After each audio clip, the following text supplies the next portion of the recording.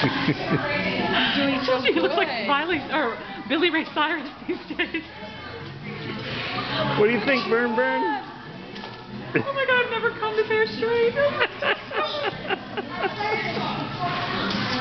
Sure, buddy.